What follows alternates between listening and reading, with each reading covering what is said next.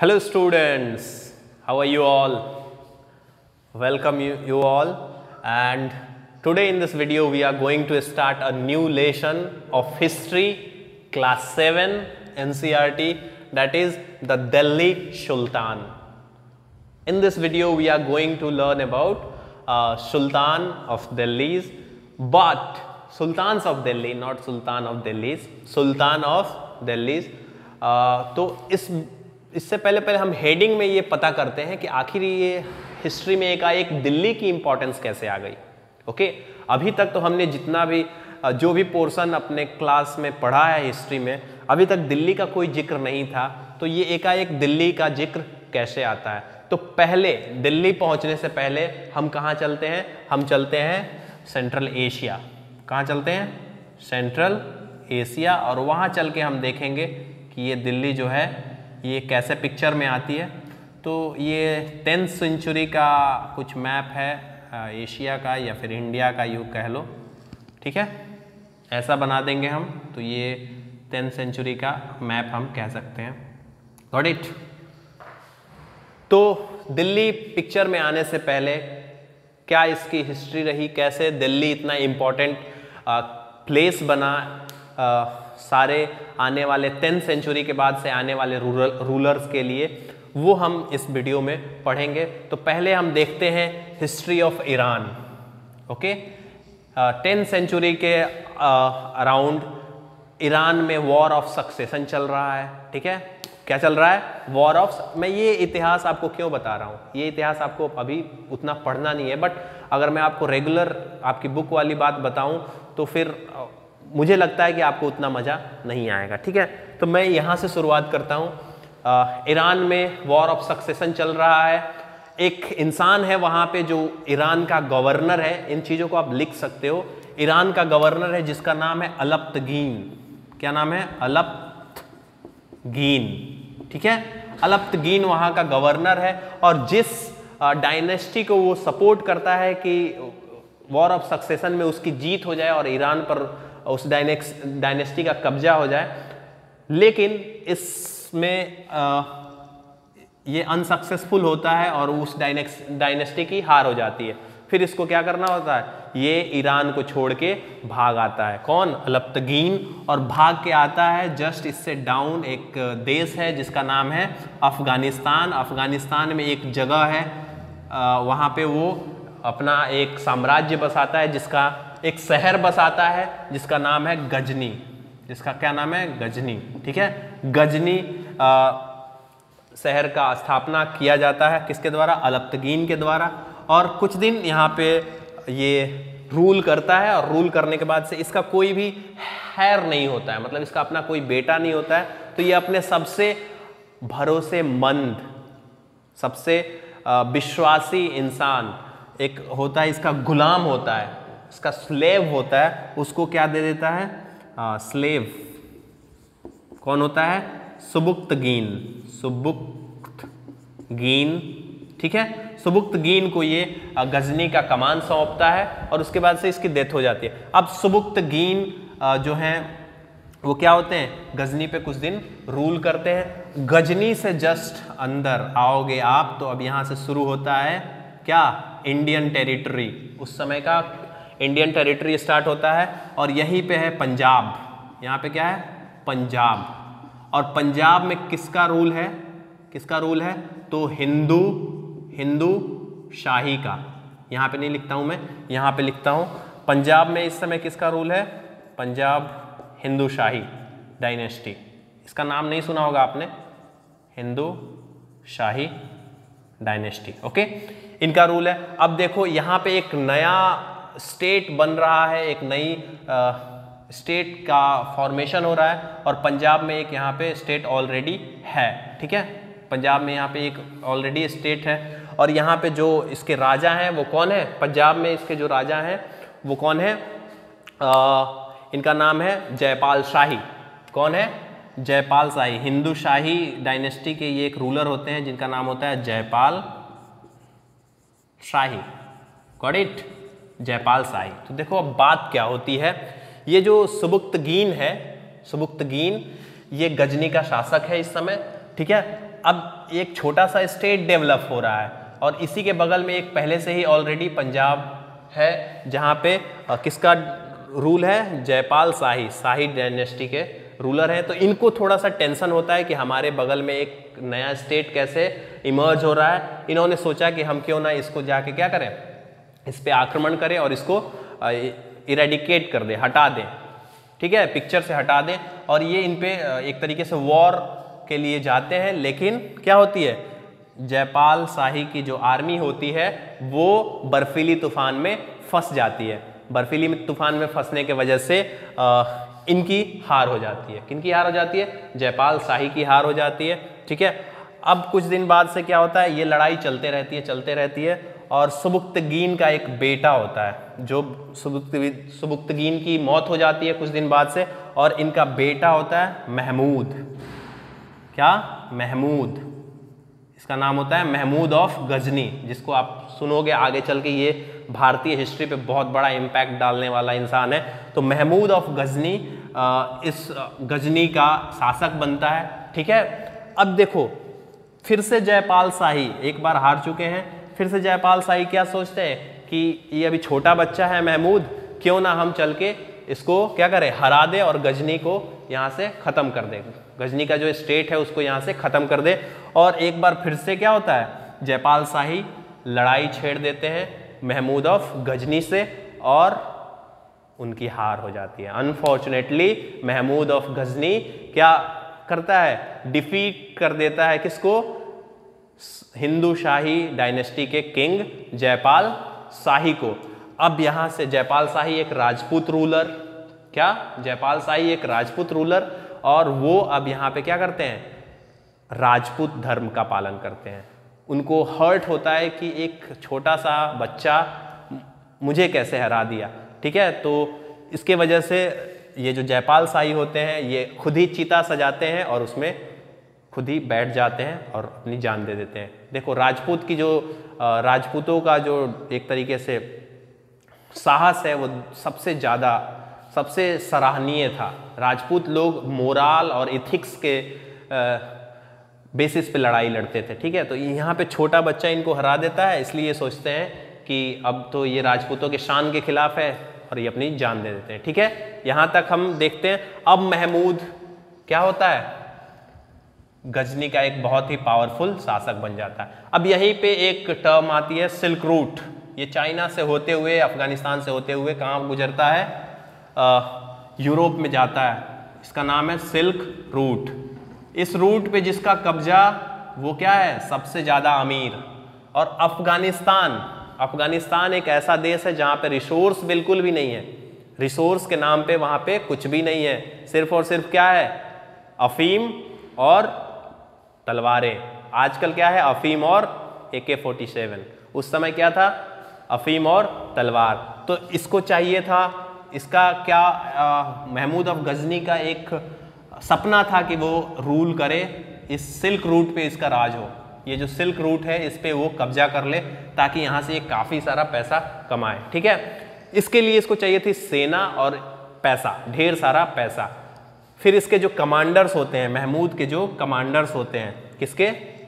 Commanders of Mahmud Mahmud of Ghaznavi Ghazni के जो commanders होते हैं, वो इसको सजेस्ट करते हैं कि बगल में ही एक कंट्री है हिंदुस्तान, जहाँ पे मतलब वो सोने की चिड़िया है। हिंदुस्तान क्या है? सोने की चिड़िया है। आप वहाँ पे जाओगे, वहाँ के जो रूलर्स हैं, एकदम कह लो कि खुद में ही लड़, लड़ने वाले हैं, मरने वाले हैं उनको आप आसानी से हरा सकते हो और वहाँ से ढेर सारा पैसा, ढेर सारा अमाउंट क्या कर सकते हो? अर्न कर सकते हो, ठीक है? और इस बात को महमूद सीरियसली लेता है और 1008 में 1008 में ये क्या करता है? भारत पे अटैक कर देता है, हिंदुस्तान पे अटैक कर देता है। कब? 1001 एडी में सॉरी 1008 एडी एडी में। किस मंदिर पे? किस मंदिर पे? तो नागरकोट का मंदिर। किस मंदिर पे?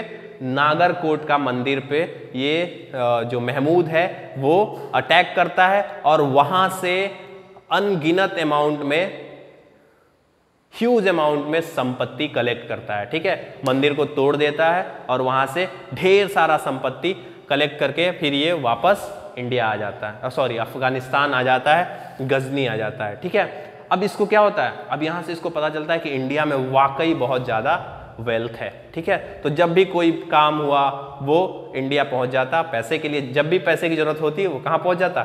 इंडिया पहुँच जाता और क्या होता?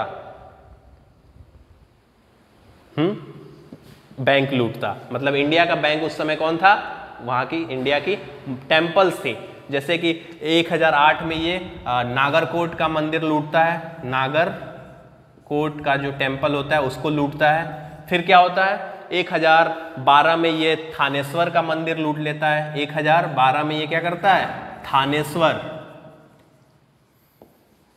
अब गुड्डू की मुंडन हो, बिटिया का ब्याह करना हो, चाय पीना हो, सब जिस सबके लिए पैसा अगर ज़रूरी है तो ये क्या करता है? भारत की तरफ़ रुख करता है, भारत पे अटैक करता है और इनके मंदिरों में इसको पता है कि उस समय देखो, भारत की जो पॉलिटिकल सिचुएशन थी उस समय वो फ्यूडल सिचुएशन थी। सामंतवादी तरीके से भारत में रूल होता था और भारत का जो धार्मिक पॉलिटिकल इकोनॉमिक सारा एक्टिविटी जो होता था, मंदिरों में होता था। ठीक है? मंदिरों में ही होता था। इस वजह से जितना भी वेल्थ था भारत का उस समय, वो कहाँ रखा होता था? मंदिरों में रखा होता था।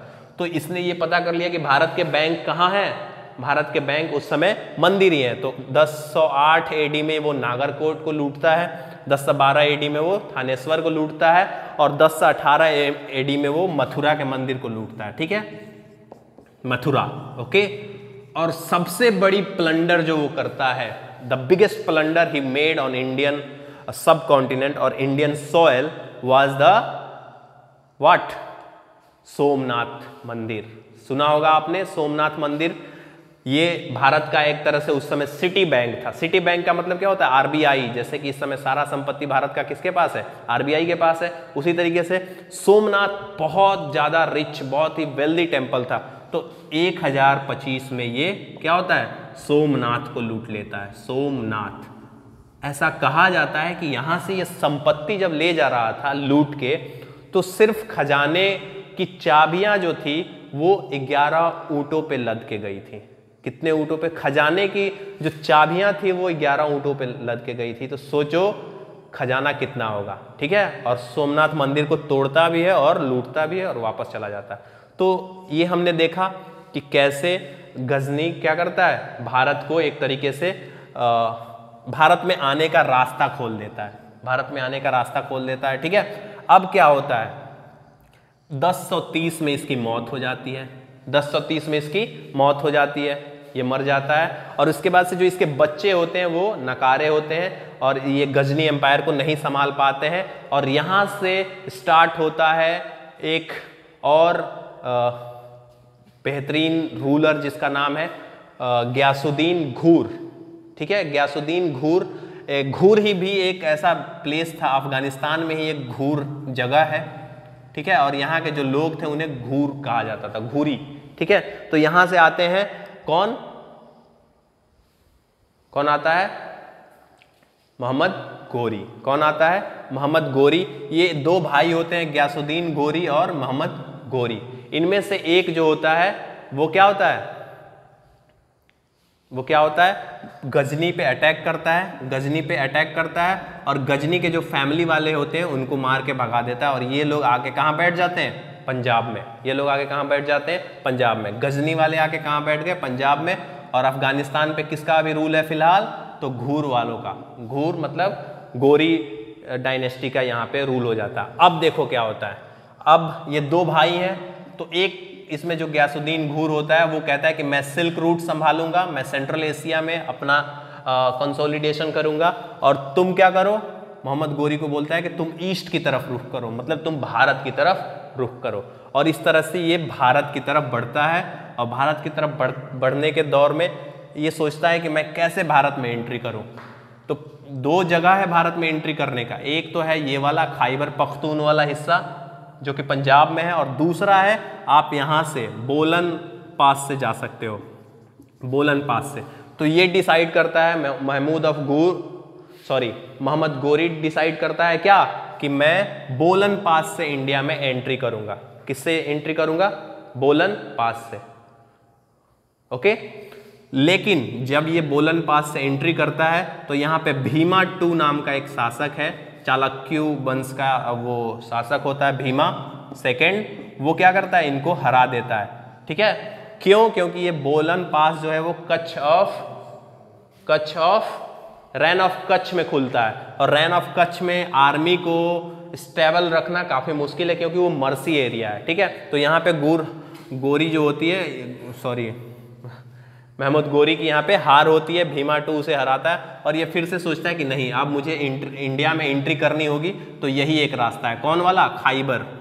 खाइबर वाला जो पा, पास है उसी से हमें क्या करना है? इंडिया में एंट्री करनी पड़ेगी। लेकिन खाइबर चूँकि पंजाब में है और पंजाब में कौन बैठे हैं? गजनी के जो रूलर्स हैं जिनको इन, इन्होंने मार के भगाया होता है वो बैठे होते हैं। तो यहाँ पे ये षड्यंत्र रचता है और यहाँ का जो पंजाब का शासक होता है खुसरो मलिक। कौन? खुसरो मलिक। खुसरो मलिक को बहला फुसला के कहता है कि चलो हम काफिरों को मारते हैं, जो मतलब नॉन मुस्लिम को चलो मारते हैं और खुसरो मलिक बाहर आ जाते हैं और इसकी सपोर्ट करने के लिए। लेकिन पहले वो खुसरो मलिक को ही मार देता है और पंजाब में इसका रूल हो जाता है। किसका रूल हो जाता है पंजाब में? मोहम्मद गोरी का। अब पंजाब यहाँ पे और दिल्ली यहाँ पे। अब आती है दिल्ली की बारी। तो मैं दिल्ली के बारे में थोड़ा सा बताता हूँ और उसके बाद से वीडियो को ऑफ़ करेंगे, कल इसके बारे में पढ़ेंगे। अब चलो दिल्ली के बारे में यहाँ पे इंटरेस्टिंग बात सुनते हैं। तो दिल्ली को कहते हैं कि सेवन एडी में तोमार राजपूतों ने बसाया था। किसने बसाया था? तोमार डायनेस्टी के राजपूतों ने किसको बसाया था? दिल्ली को। ठीक है?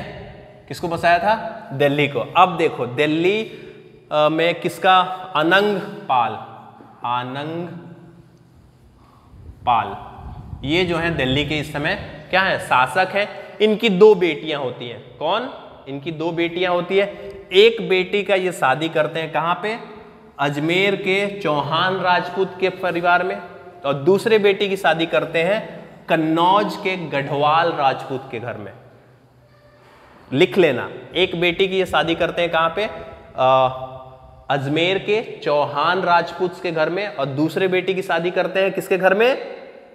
कन्नौज के गैढवाल राजपूत के घर में, ठीक है? उसके बाद से अनंग पाल जो होते हैं, इनका कोई भी बेटा नहीं होता है, बेटी होती है।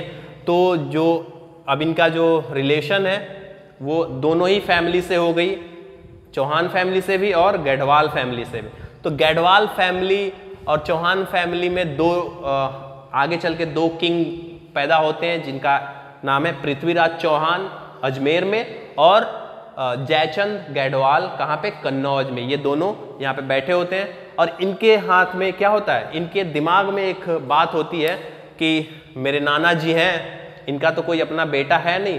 तो दिल्ली जो है, वो हमें सौंप देंगे तो हमें सौंप देंगे। चौहान समझते हैं कि हमें सौंप देंगे और गढ़वाल समझते हैं कि हमें सौंप देंगे। लेकिन नाना जी को पता होता है अनंग पाल को पता होता है कि ये जो पृथ्वीराज चौहान ही एक अच्छा खिलाड़ी है। बहुत सारी सेंचुरीज लगा दी हैं, बहुत साहसी है। तो दिल्ली जो है, दिल्ली वो चौहान के हाथ में दे देते हैं। यहाँ पे दिल्ली जो है, किसके हाथ में आ गई?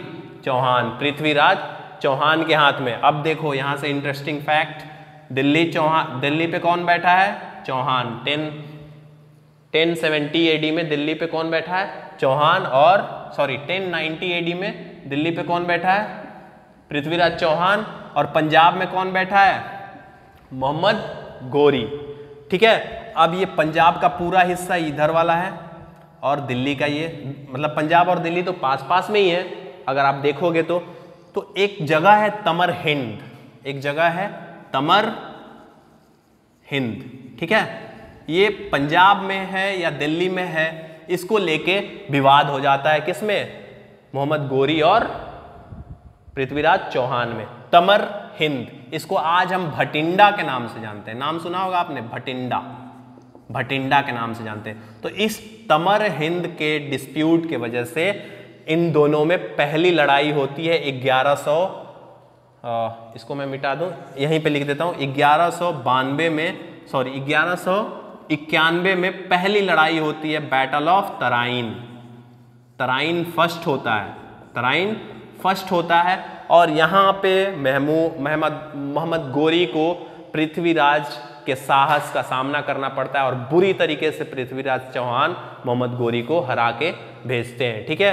अब मोहम्मद गोरी क्या होता है? बहुत ही आहत होता है और वापस लौट जाता है।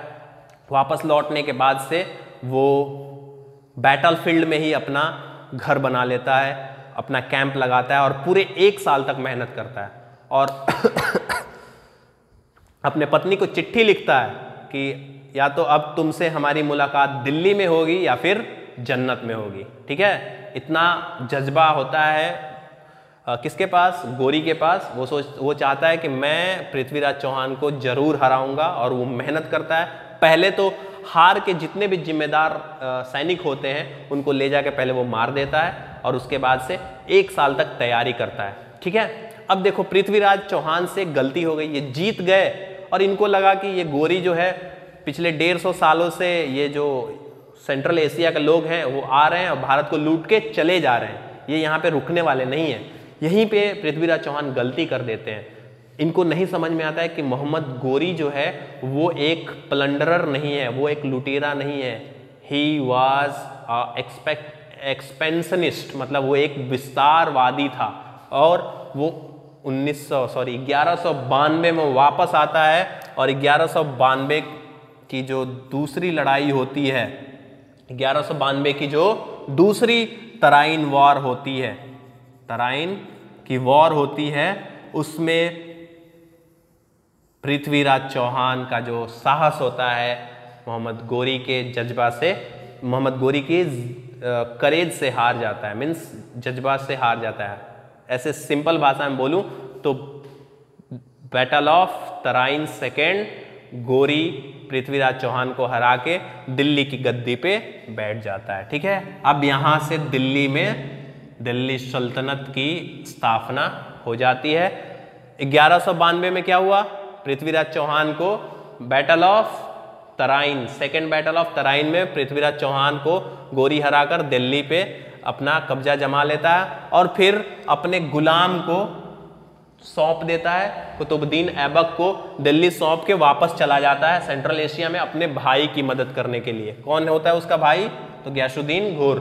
उसका मदद करने के लिए वो वापस कहाँ चला जाता है? सेंट्रल एशिया जैसे यहाँ पे अपने आप को ये कॉन्सोलिडोट कॉन्सोलिडेट करता है मतलब थोड़ी यहाँ पे और मजबूती हासिल होती है तो ये वापस दिल्ली आता है। ये वापस दिल्ली आता है और ये किसको पकड़ता है? जयचंद को। कन्नौज के जयचंद को पकड़ता है और वहाँ पे जयचंद को आ, बैटल ऑफ़ कौन सा बैटल होता है? लेट मी कौन सा बैटल